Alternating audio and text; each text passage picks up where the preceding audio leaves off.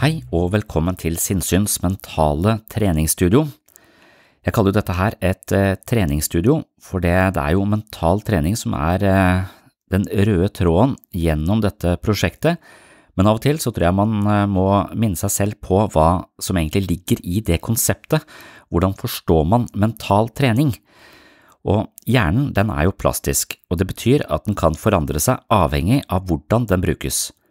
For å finne ut av hvordan vi bruker vårt eget hode, hvordan hjernen forfatter nye opplevelser i lyset av gamle erfaringer, og hvordan stress eller kraftige følelser påvirker våre tanker, valg og handlinger, så må vi observere vårt eget indre liv.